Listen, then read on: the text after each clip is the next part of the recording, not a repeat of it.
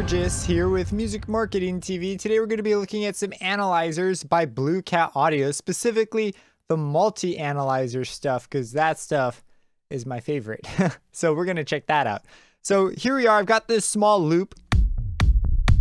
It's all one synth and it grows and grows and grows. That's the same synthesizer. It just gets bigger and bigger. And so uh, there's a couple different multi-analyzers we've got here. So multi-analyzer means it's an analyzer that can that can show you multiple channels at the same time. So you can load up more than one of them and they'll be able to see each other. So for example, on the kick, we're going to load up, the first one we're going to load up is the Scope Multi 2. Actually, let's start with the Frequency Analyst because that one I think is the most straightforward. Ironically, it's got the most controls, but it's it's basically a spectrogram that can see a bunch of different things at the same time. And you're given all these options here for what you want the spectrogram to show you. And so I'm going to keep it simple here. You'd pick different ones for different reasons. If you want to make mixing decisions, you're going to want to do uh, averages typically, right? Because you're going to compare averages when you're making meaningful balance decisions. But if you're looking for small clashing moments, possible masking, weird spots that possibly just eat a little more headroom than you'd like for like a split second, then you'd want to use something like peak or something like that to catch those moments and tell which thing is causing the problem. We're just going to go with instant for now, and you can click to name. We're going to name this kick, and that's fine. And we're going to give it the number one. So there's all these different numbers you can give to different things. Uh, if you want to do like multiple channels out at the same time, you can. But a lot of the time, you know, you only need one of them. So I'm just going to go for this one. Also, uh, to keep things moving here. So you can see here's the kick. Now, one thing that I was wondering when I did that was how do I get that menu back? It's up here. So if you accidentally close this and you want to rename something, that's how you get to it. You click this little icon up here. So you can see it's labeled kick. And if we play it, you can see it doing its thing. Now, if we really wanted to, we could add a second channel output. I'm not going to name it. We just know it's the kick. And this one will show the peak. And if we play this, you can see it updates at the peak and freezes there, which is really handy for catching any maximum moments and going in and saying, hey, how can I change this? If you hover over it, it's going to tell you, you know, the information that's relevant to this particular spot uh, you know, your, your frequency, the tuning, and how loud. So you can come in and make adjustments. Uh, now, if you want to take away something, you can just click to hide it, or you can come over and just exit it off. Maybe you have more things that you'd like to use, like more channels, and so you'd rather use that channel for another instrument. You can do that. So, okay, we've got the kick set up. Let's head over to the synth. Let's add a blue cat we're going to go over, grab the frequency analyst. All right. And, oh, this is the frequency analyst pro. It's a bit different. Let's go for the multi version, which is the one just above it. Beautiful. We're going to name this one synth. And we'll give it a different color. We'll give it the color for number 16. We'll give it red. Now when we play it, can see them both going at the same time. You can fill it too, which can be kind of helpful. You can see where things are clashing. Possible masking problems can become really apparent using this. But what I really like is if you come over to this difference menu, it'll actually show you one minus the other. Now, they're uh, set up already to work a certain way. And there's also some neat things you can do with memory slots that I'm not going to get into here.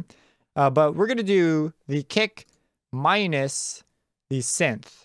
And so if the kick is stronger in an area, it's going to appear positive.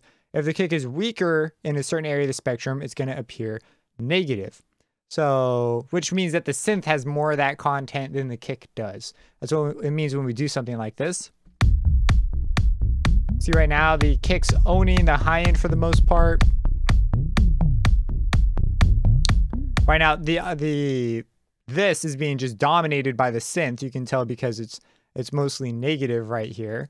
And as we keep moving along, we can see the synth just completely over. I mean, you can barely hear the kick anyways, but this would show that visually as well.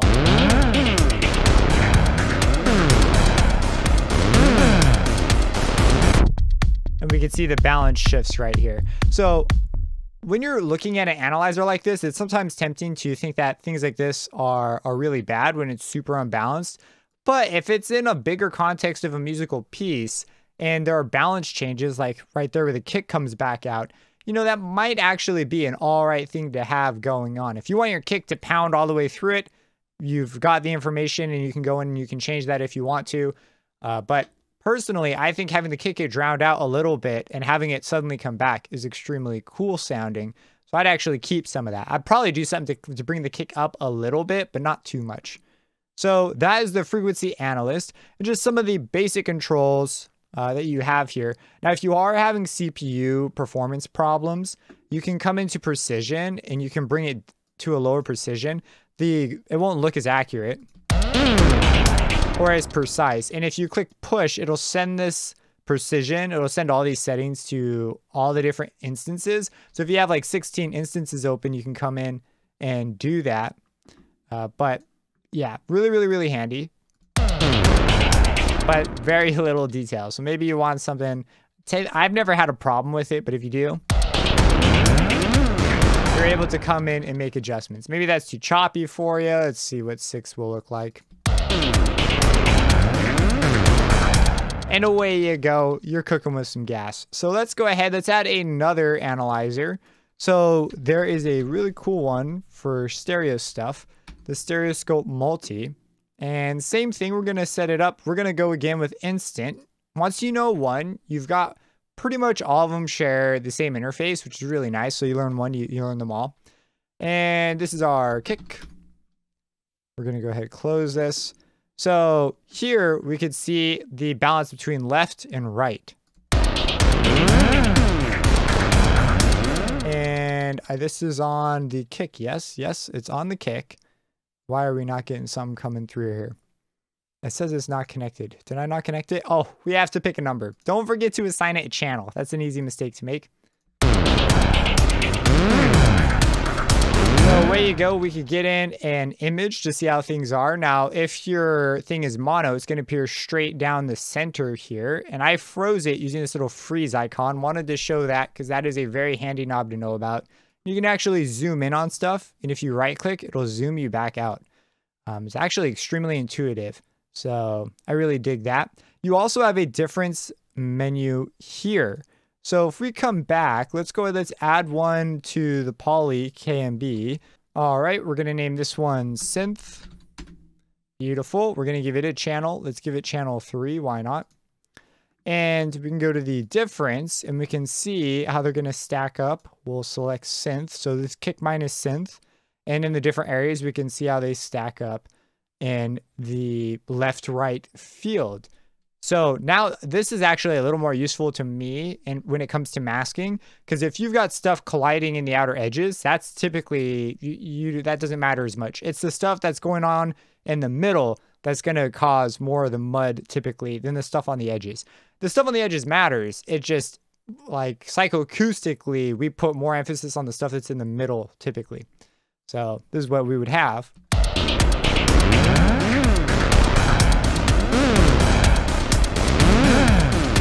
Of course, this is the difference of, of kick and synth. So we could see here that the kick just across the entire thing, which makes sense because we saw it on the frequency analyst as well that this held over the entire spectrum of the sound. So it kind of makes sense to see it get pushed down all over. So one option we could do is we could actually grab something that makes a, a boost in the kick, but only on the far sides, mid-side processing possibly, and push it up on the sides and maybe on the high end to give it a little extra punch so that the kick is still present throughout most of it, but we still get the body of the synth in the middle. I mean, that's one way you could shape what's going on here. So, all right, so that's the uh, stereoscope. There's one more. This one is the oscilloscope. So the oscilloscope's cool because it's got a phase correlation meter. So I think the the balance decisions are better made by the stereoscope. Uh, frequency analyst can reveal some masking stuff.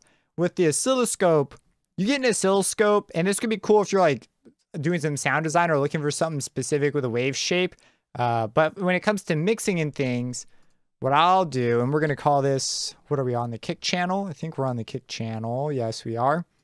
We'll call this kick left. We'll call this one kick right. And we'll close these. When it comes to this, I think the phase correlation meter is going to be a little more useful typically. We're going to go blue cat. We're going to go to the oscilloscope multi. We're going to call this synth left. And this one's synth right. And this one has two channels because there is a phase correlation meter in this. So here when we when we uh, push play, and let's just see this. Oh, did I not uh, name stuff? I didn't give them numbers. Okay, we'll open this back up. We're going to give this the numbers 3 and 4. And on the kick, we're going to give these the numbers. Let's bring this up. We'll give these the numbers 1 and 2. Don't forget to give them channels. All right, so we've got a whole bunch of stuff here. I'm going to hide these for now. So this is just the kick left and right. Starts off as your typical scope. And on the scope in particular, the sync mode is extremely handy. They've got trigger, flow, and loop. Loop is probably going to be the one you're going to want to use. It will, uh, let me just show you.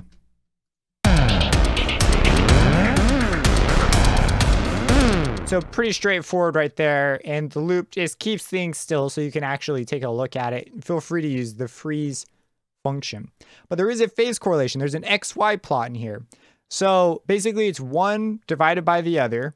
And when this is positively correlated, it's going to be a line that lines up in these quadrants, a positively correlated line. When they're negatively correlated, they're going to be going in this direction. So they'll be in these quadrants.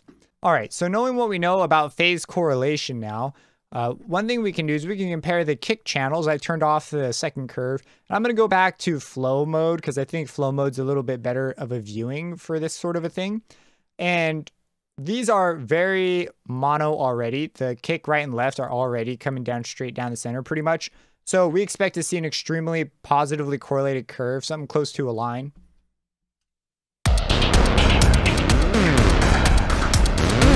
And that is what we observe. If we actually make it the same signal, it's 100% correlated, so it should be just a straight line y equals x.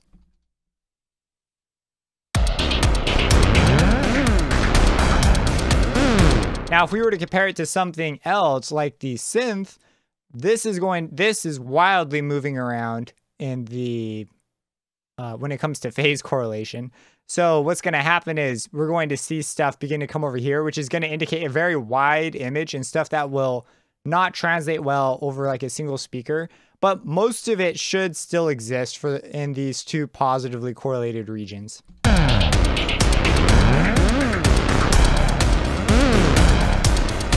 Now here we see these large swipes, but these swipes are okay because they're bounced out by what's going on over here. So if you were to crush this down, it would still be all right.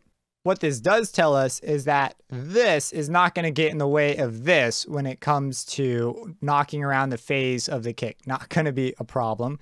Uh, if we compare it to the right, we can get a feel for the actual synth itself and how it's correlated with itself, where it would sit in space if it was played alone.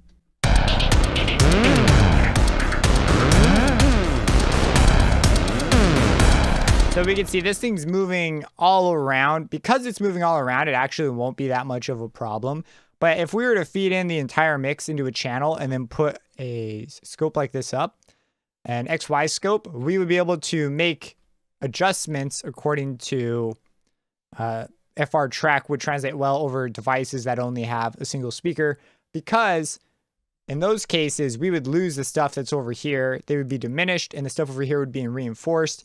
And so if we had a bunch of stuff over here, but not in here or here, that would be evidence of some an element that might disappear in the mix. So this is what you would use this sort of a thing for. And then of course, you can go back to the scopes. Again, scopes, I think they're really useful for, for creative sound design, checking out and learning what things look like. Um, one thing you do want to keep an eye out for if you're looking at a scope is stuff like, let me just play this. And let's turn on these right here just to show you.